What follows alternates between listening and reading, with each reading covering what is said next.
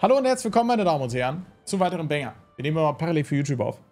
Raid. Raid hat die zweite Applika Instant approved. Hm, also Instant. Instant ist ein, glaube ich, das falsche Wort dafür. Aber ich habe ein paar Anfragen gestellt. Hilfe, ich wurde entführt vom zweitbesten TFC-Spieler zum besten. Ja, ja, mh, ja, ja. Ich denke auch, ach, guck mal, wir haben sogar gewonnen.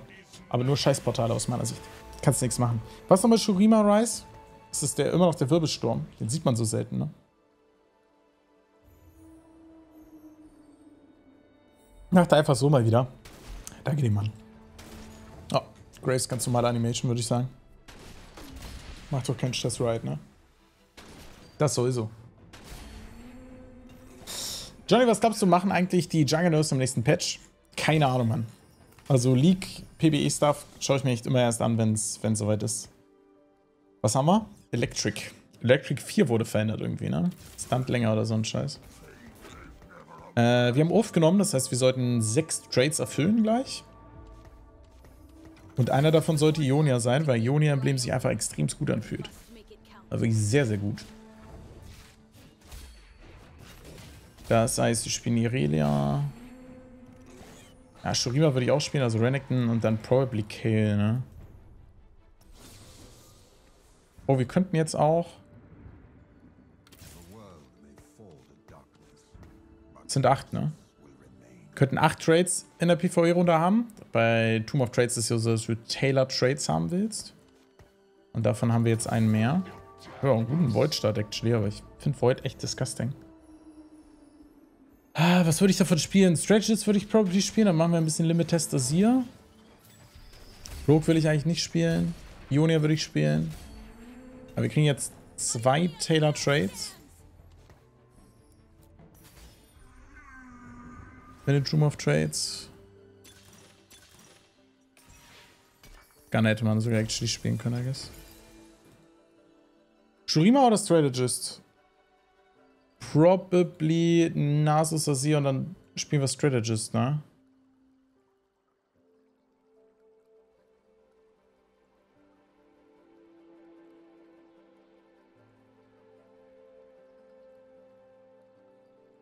Probieren wir es.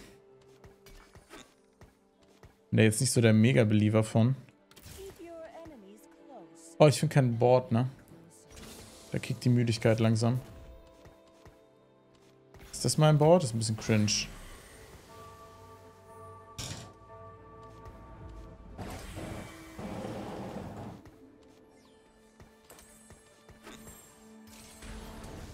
Kein Piltover mehr. Wo ist Mercenary Johnny hin? Ja, Piltover ist leider... Also fairerweise weiß ich gar nicht, wie schwach Jinx Jace jetzt ist. Aber Piltover wurde halt, glaube ich, sechsmal in Folge genervt oder so, ne? Es war auch immer, nachdem es genervt war, dann doch noch okay. Aber ich dachte auch immer, dass es das nicht mehr ist. Was ist das eigentlich für ein Fight hier? Oh mein Gott.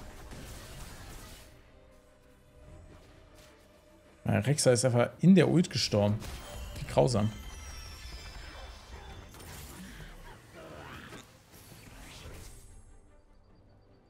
Ich kann mir nicht vorstellen, dass das mein bestes Board ist, oder?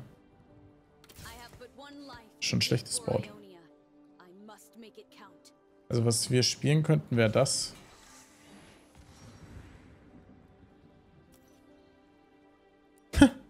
Short most damage. I don't know.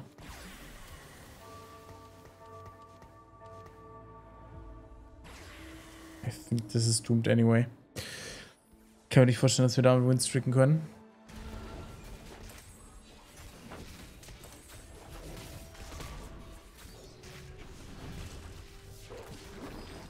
Oh, der hat gar keinen Rogue, ne? Äh, 4, 5, 6, 7, 8.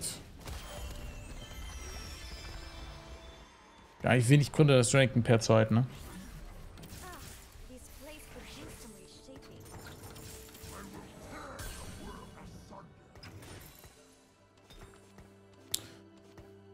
Äh, pushen wir hier 5. Könnt ihr auch. Ja.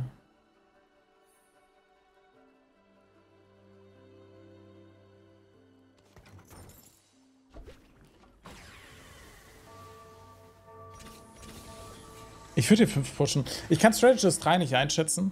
Bin ich ehrlich. Aber 400er Schild so, das sollte ja wohl hoffentlich irgendwas machen.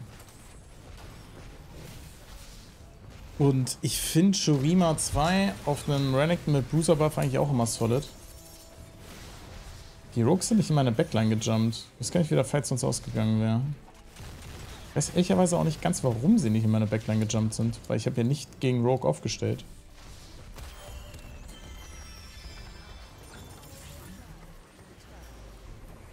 Ja. Ah. Zwei Items immer, ne? Ja, tatsächlich ist es ja so, dass man Azir nicht mehr so gerne mit Ragebait spielt.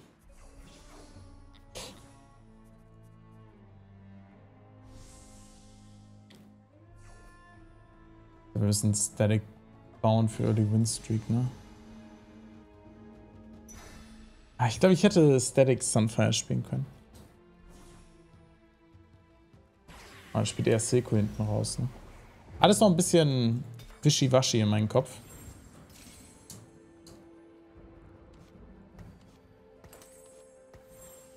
Aber wir probieren es mal. Ich denke, wir müssen jetzt unsere Bank aufgeben gleich.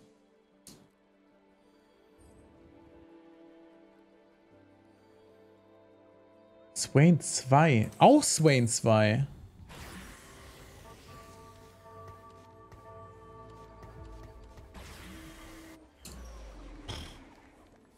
War rough. Sehr rough. Ich glaube, das ab ist vorbei, ja. War aber sehr cool. Gerne wieder. Aber so ist einfach ein viel beschäftigter Mann. Aber ich werde ihn immer mal wieder in die DMs leihen. Und ich finde es auch immer völlig okay, wenn er sagt, boah, nee, aktuell nicht. Aber vielleicht ergibt es sich ja nochmal. Ist halt auch ein weirder Modus, ne? Ich meine, es bringt Solo ja nichts. Vor allem muss man auch sagen, die Runden waren ja giga-free, ne? Also, der ist natürlich auch da, da ziehst du halt kein Learning oder so raus. Wenn er wenigstens halt irgendwas Absurdes spielen könnte, um, um für die Tierlist ein bisschen zu scouten oder so, aber das kannst du da ja eigentlich auch nicht ernst nehmen. Ist das hier Vi über, über Rek'Sai? Wegen Armor Shred? Doesn't matter, ne? Das ist echt ein Problem. Wie spielt man das vom Positioning her? Man spielt Renekton hier, ne? Renekton außen. Rek'Sai da. In der Hoffnung, dass Renekton außen rumrennt oder so? Okay. Cut a buff into Lustrick kenne ich gar nicht so.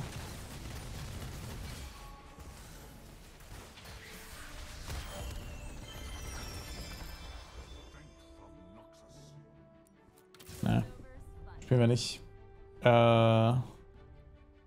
Lass mal ein Endboard. Lass mal ein bisschen über Endboard nachdenken. Ich würde gern Strategist 5 spielen, ne? Weil ich persönlich den Jump von 4 auf 5 eigentlich attraktiv finde. Ist ja auch nur 20 AP mehr. Ich finde der Jump von 3 auf 4 ist ernüchternd, wenn ich das so sehe. Das sind 175 Schild mehr. Und der Jump danach sind 275. Das sind auch nur 10 AP mehr. Hm. Okay. Na gut.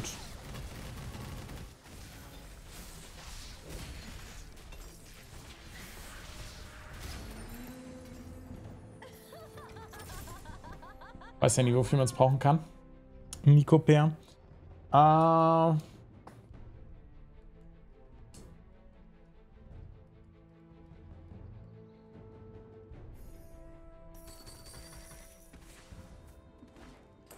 wurde ich mal krass belohnt.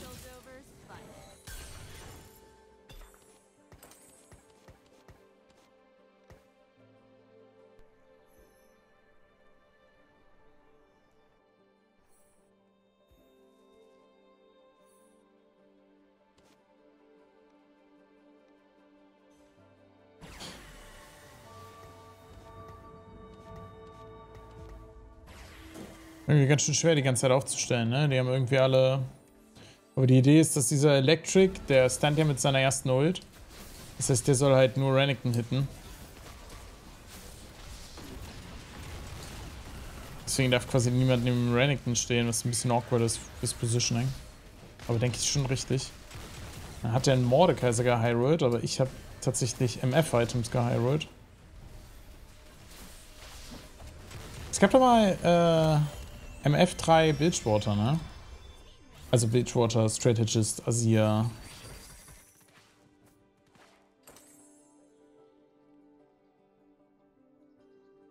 Boah, ist das Level Up?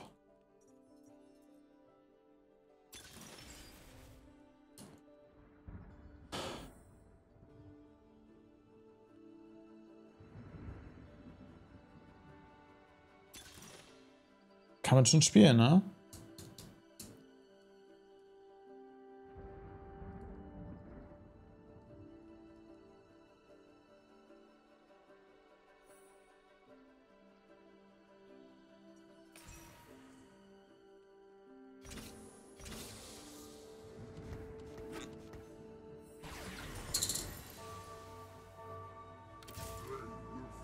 Ich habe leider gehen Sitz. Muss ja mehr viel spielen. Ah, ich habe zu lange gebraucht dafür. Ja, jetzt kenne ich mich tatsächlich, also ich spiele selber Level Up basically nie. Aber ich würde einfach sagen, wir geben unseren Winstreak jetzt anyway ab. Weil ich in Teil 2 nicht genug Stärke gewonnen habe. Wobei Cassio 2 auch einfach illegal strong ist, ne?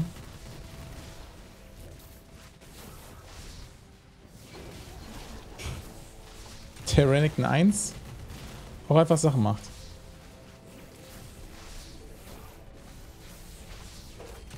Oh. Ich lag aber auch krass in den Fights.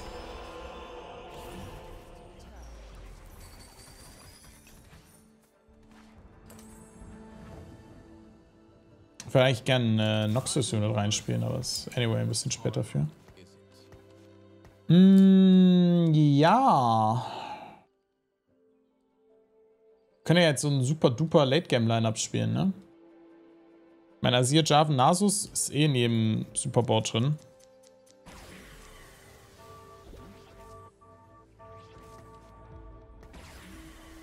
Ich habe einfach den ersten Klick schon gefettfingert.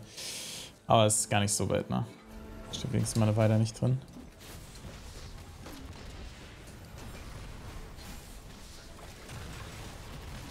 Ich spiele die ganze Zeit nur gegen Bildsporter und Dings. Und Rogues. Eine weirde Lobby. Ganz wenig Ionia gefasst bis jetzt. So, was muss ich spielen? Ich muss spielen Swain. MF. Jarvan Nazir. Das heißt, ich kann auf jeden Fall schon mal Nasus locken. Nasus spiele ich dann auf jeden Fall auch. Ich sollte vielleicht kurz über meine Items nachdenken. Äh...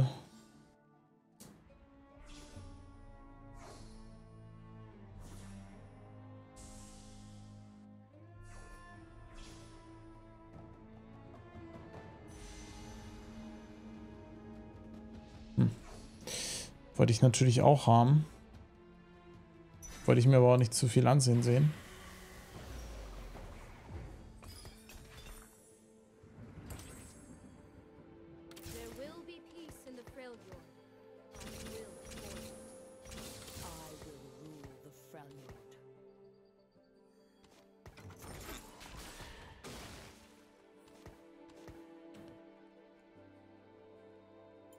Okay, das heißt, das spiele ich. Dann spielen wir immer Artox.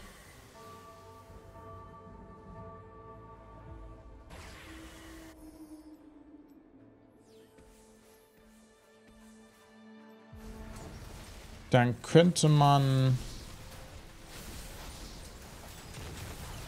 Gangplank Nautilus für Bildsporter spielen und spielt dann Warwick Seco.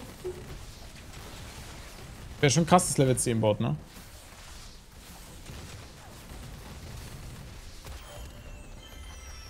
Würde ich irgendwie schon fühlen.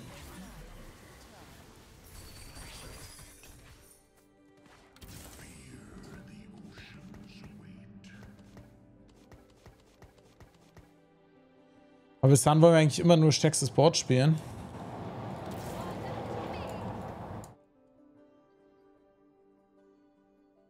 Ist halt nur total nerviges zu finden.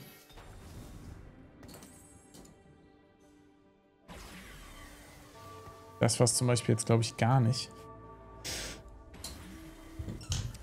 Ja, vielleicht können wir ja auch einfach, einfach Hard Legendaries reinspielen, ohne groß zu denken.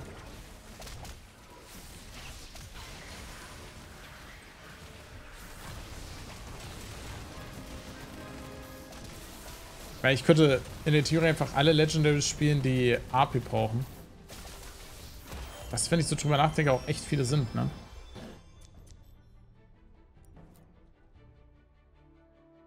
Dann wäre es einfach Rice Ari. Könnte man hier sogar Cassante Shen spielen. Ja, wie viele Legendaries man in dieses Line-Up kriegt, bevor es cringe wird.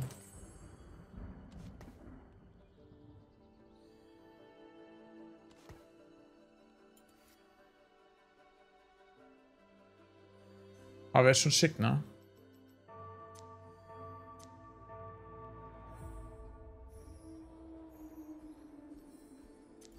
Mal gucken. Ich glaube, Demacia reinspielen, das ist eher nicht.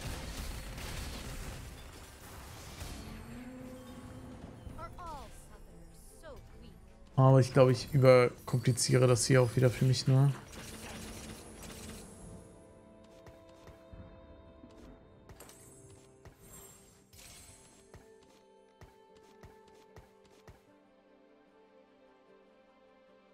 Es ist, es ist Rabadons einfach. Kann man schon machen, ne? Glaube ich, die sind da die Items. Hm. Ja, ich weiß nicht, ob man hier Strategist 5 auf jeden Fall durchziehen muss, aber es fühlt sich einfach gut an. Ich krieg halt Bildsporte nicht so richtig rein, glaube ich.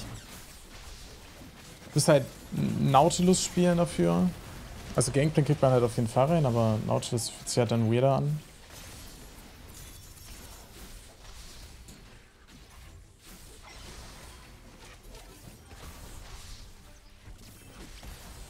Cass ist einer der angenehmsten Itemholder im Game, ne? Also für, für Sia. Ist einfach so, so strong. Ich meine, es sind 5800 Damage von einer fucking One-Cost-Unit. Auf Level 10 Bronze-Ticket spielen? ist schon frech, ne?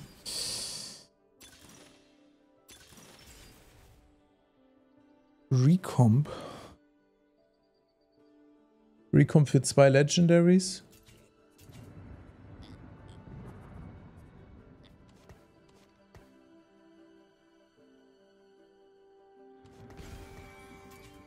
Lohnt sich nicht, ne?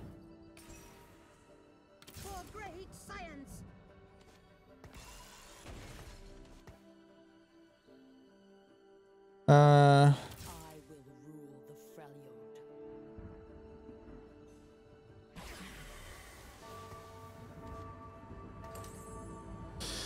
Ja, weißt du nicht, welche Heimattürme, ne? Wir könnten den neuen Heimatturm probieren. Diesen Superlaser. Aber ich glaube, Triple, Triple Meccano ist wahrscheinlich einfach besser. Ich habe schon Static, das ist der Magic Damage geht eh schon durch. Goldinator wäre natürlich sehr frech hier. Auch sehr geil, wenn wir es durchkriegen würden, aber ich glaube einfach nicht, dass wir es durchkriegen. Ich glaube, dieser Laser ist vor allem cool, wenn du irgendwie noch, noch Invoker machen kannst oder so ein Blödsinn. Das hier ist der neue.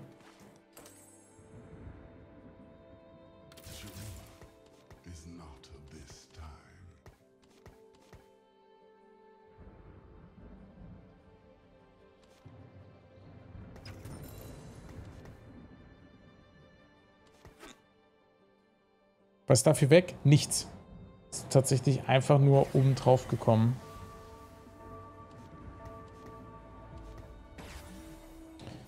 Die Strategist fehlt immer noch Azir. Wir wollen auf jeden Fall nicht vor Level 9 rollen. Wir haben 72 HP.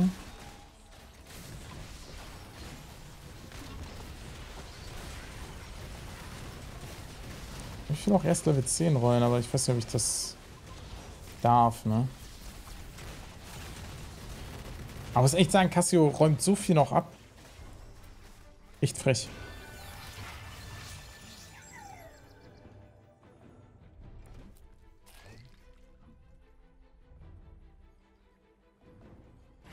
Gerade haben wir auch wenig auf dem Board, was sinnvoll ist. Kann auch echt dazu sagen.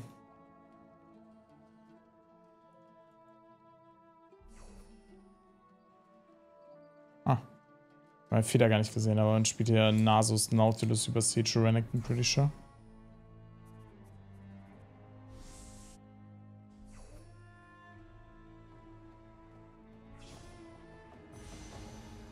Ja. Ich glaube, kann ja einfach den Nasus mitnehmen. Ohne groß nachzudenken. Und der Rest wird dann schon irgendwie werden.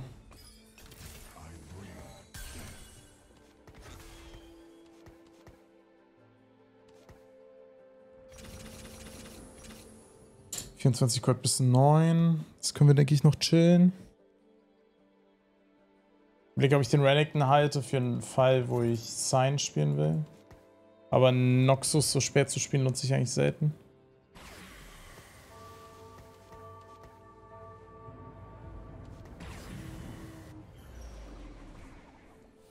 Testen wir mal.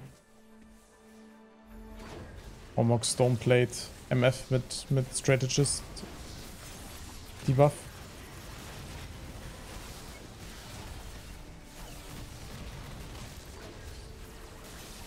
Wäre leider im Nachhinein in der Backline besser gewesen gegen Rogue. Ah, kann man ja nicht wissen. Okay. Niederlagen wären ein bisschen teurer, aber wir müssen leider noch eine nehmen eigentlich.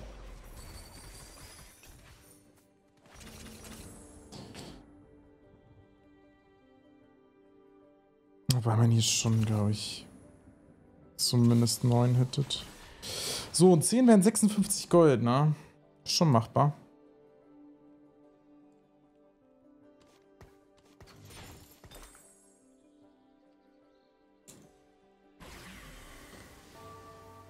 Rasierhit wäre langsam mal cool.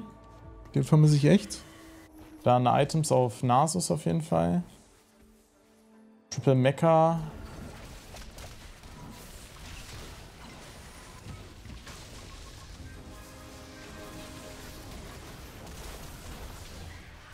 Wenn ihr eine TF-Karte in die Backline fliegt, ist Ende, ne? Der one-shottet. Oh ja. Jo.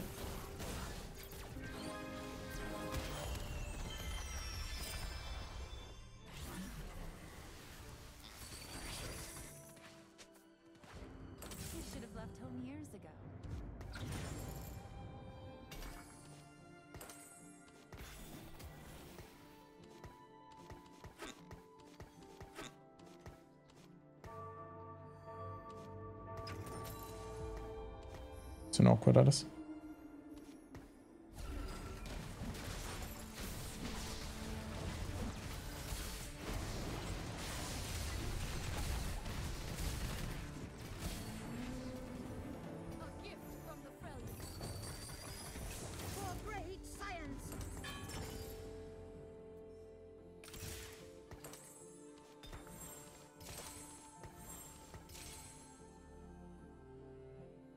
Habe ich einen Refresh?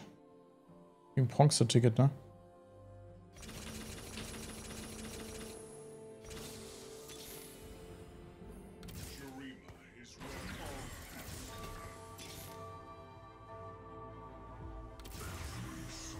Awkward.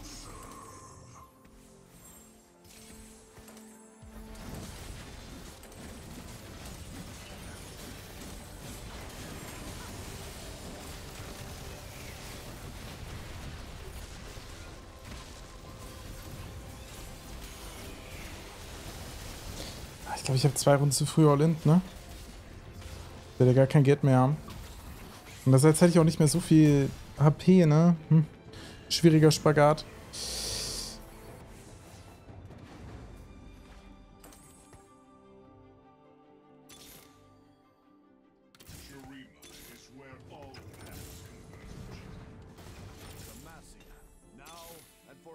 Wird jetzt sehr schwer, die, die Upgrades zu hitten. Ich überlege, ob ich Heimat droppe.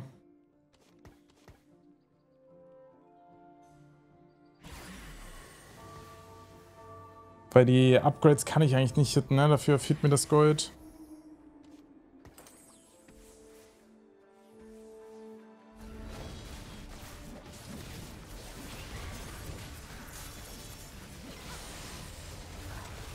Ja, ich könnte Heimer rausstellen wegen Dings, aber bis jetzt wollte ich gerne einen Mechanoswarm haben, weil ich noch keine Heal Reduction habe. Habe mir deswegen nicht rausgenommen. Aber keiner regretted, not gonna lie. Alter, ich hätte fast gegen jemanden verloren, der Level 6 ist. What am I witnessing?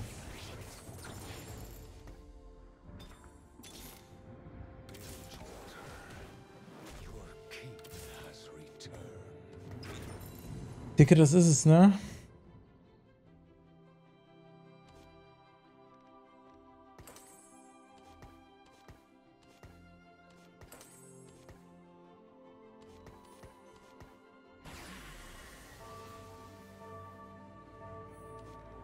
Ist das?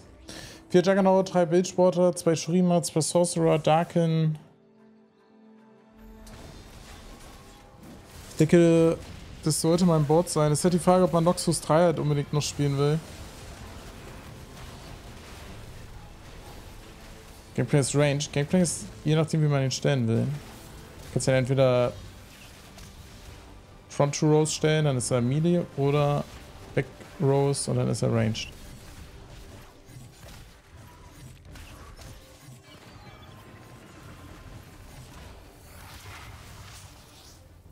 Aber ein bisschen cringe. Der Backseat Temp.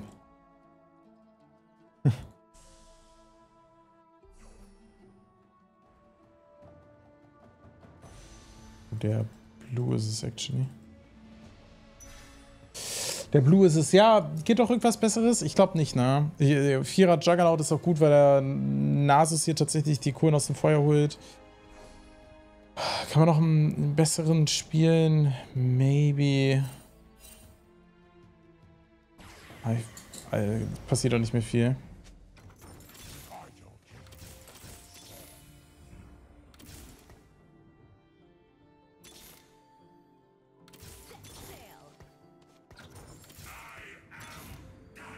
Das ist mein Free Roll gewesen. War das schon?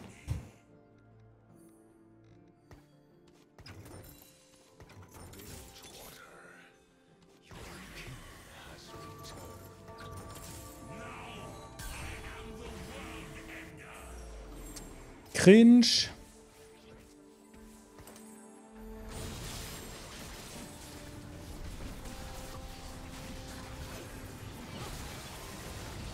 wollte Gangplank halt so aufstellen, wie es nach dem Backline-Unit Sinn macht, aber äh, nach den Items Sinn macht.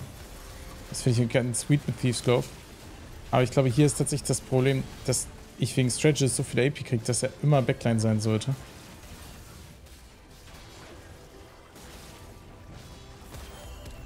Boah, ist aber auch eine kranke Lobby, ne? Also wirklich sehr close. Da war sehr, sehr knapp alles. Wait, gibt's hier... Ne, gibt's keinen. Gibt keinen.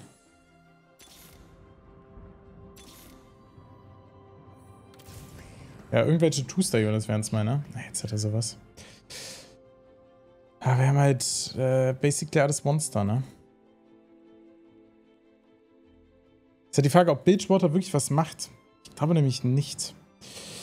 Weil es ja auch nur auf Useless Units ist. Solange Gangplank nichts weiß. Ach komm, muss trotzdem Backline jetzt. Das heißt, Nautilus droppen, Warwick droppen.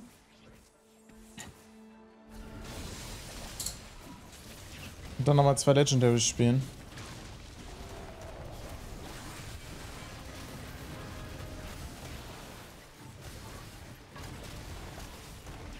Oder Morde und Sign, maybe. Huh! Nasus Baby, Alter. Maschine.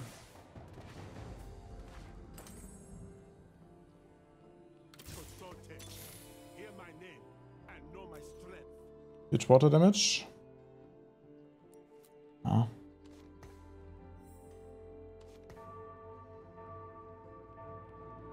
Aber es, es ist einfach nicht, ne?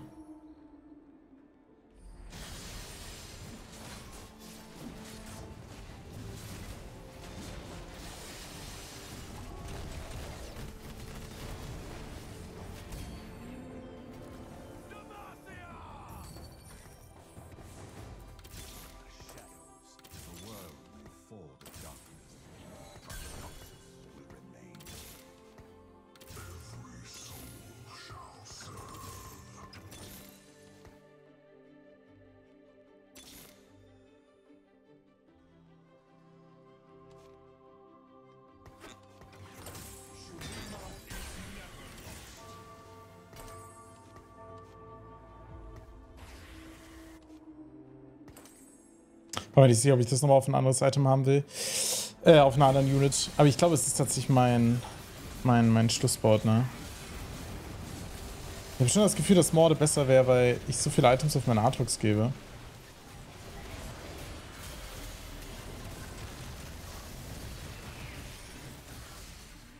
Also in meiner Vorstellung war Gangplank halt irgendwie mega cool, weil wenn er starke AD-Items hat, stelle ich ihn nach vorne, wenn er starke AP-Items hat, nach hinten. Ich habe das Gefühl, dass er tatsächlich vorne sehr wenig macht, ne? Also der hat jetzt einen ziemlich perfect Fight und macht 1700 Damage. Das hat echt nicht so wahnsinnig viel.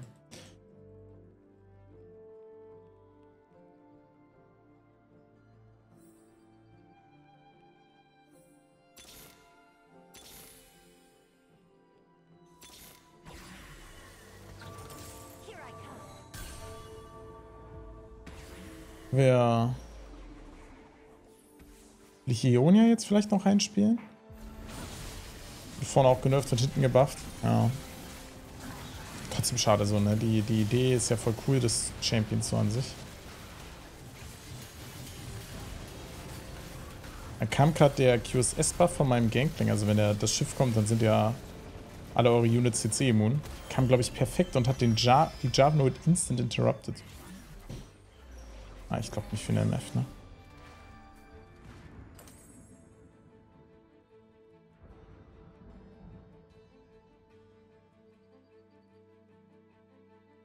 Ja. Stellt sich halt echt die Frage, ob das worth ist. Aber ich denke schon, ich stehe hier übrigens die ganze Zeit im Cassante-Winkel, ne? Ne, das ist der Cassante-Winkel. Alles gut. Na gut.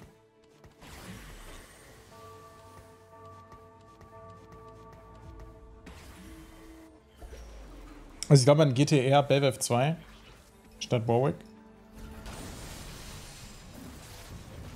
Ja, also ich weiß es. Ich weiß es nicht.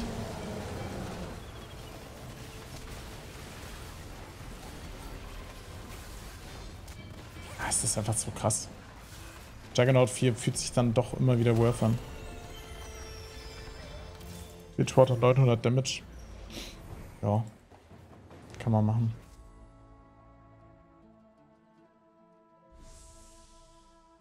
Das ist sehr witzig.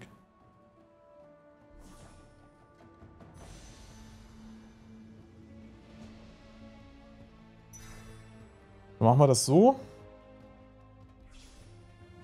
Dann wird hier eine schöne Bildsporter Ari.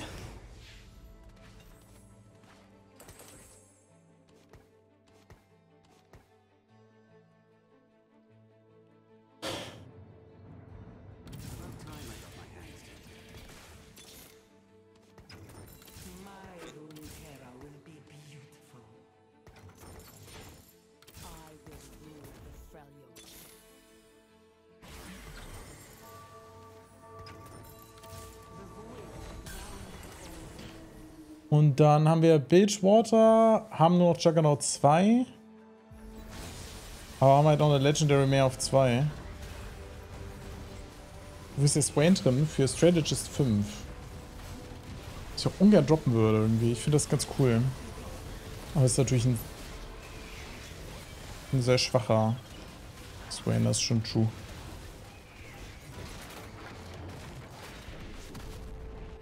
Okay. Maybe I regret doing that.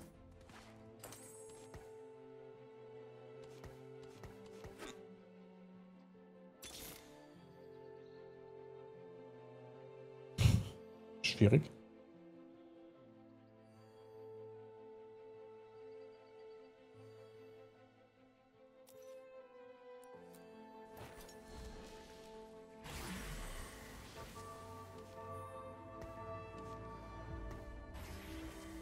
Müssen so stellen, dass der Java nicht auf Azir Atrox Nasus jumpt.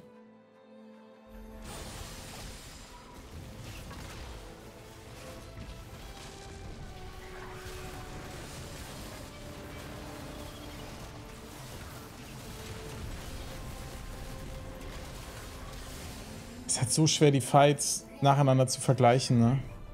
Weil jeder Fight dann doch für sich sehr unterschiedlich ist eigentlich.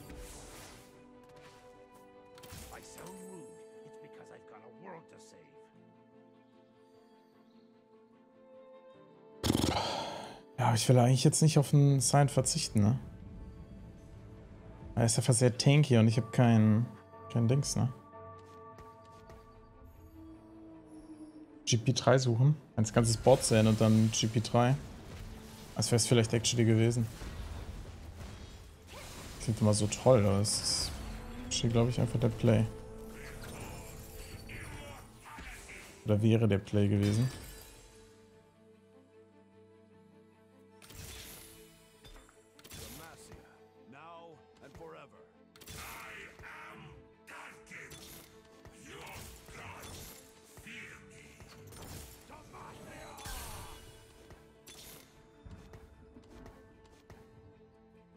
Scheiße.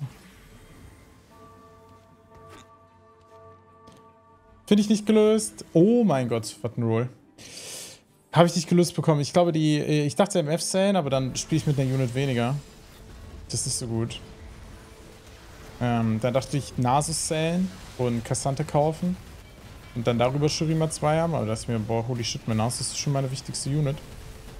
Aber der Belveth Roll holt mir, glaube ich, gerade die Runde.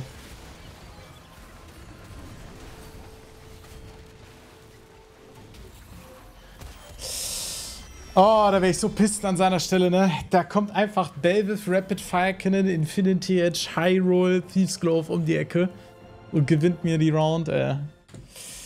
Da war sehr, sehr lucky. Das war sehr, sehr, sehr, sehr lucky. Aber bedeutet vor allem für uns Dia 1. Master näher gekommen, heute ein insaner Tag. Ne? Also heute war wirklich Win nach Win. Ja, sollen wir so angucken. Ja, Right, ist halt Small Indie Company, da kann ich Matches rebrauchen. Wir sind jetzt erster, dritter, erster, erster, erster, zweiter, dritter, dritter. Und das war gestern. Also da waren echt heute nur Top Fours, viele Win und vor allem auch ein richtig geiler Banger. Ähm, ist, ist auf jeden Fall 10 Units zu spielen, ist nice. Mit Strages 5 habe ich mir vielleicht hier und da ein bisschen die Hände gebrochen. Ich glaube, Bitchwater 3 ist es nicht, ne? Ähm, aber auf der anderen Seite hat ich es am Ende dann geschenkt und Gangplank 2 macht halt schon viel, einfach weil er diese QSS gibt. So, das darf man echt nicht, nicht underraten. Ich denke, Bitchwater 3 war sogar richtig. Juggernaut 4 hat sich allerdings stärker angefühlt als Belveth 2 und dann hat Belveth 2 Rapid Fire gerollt und ist das Game gewonnen. Äh, es ist manchmal irgendwo zwischen äh, Genie und Wahnsinn, ne? Ähm, aber sehr geile Runde. Hat mir wirklich sehr, sehr gut gefallen. Ähm, Würde ich sogar als Superbanger nehmen. Äh, Bill Gates Level 10 Comp. Muss man ja auch mal mitnehmen. Ja, äh, das war ein weiterer Superbanger. Schaut unbedingt auch mal im Stream vorbei, wenn ihr auf YouTube seid. Äh, Freue ich mich. Link in der Beschreibung. Und ansonsten sehen wir uns morgen um 11 beim nächsten Banger.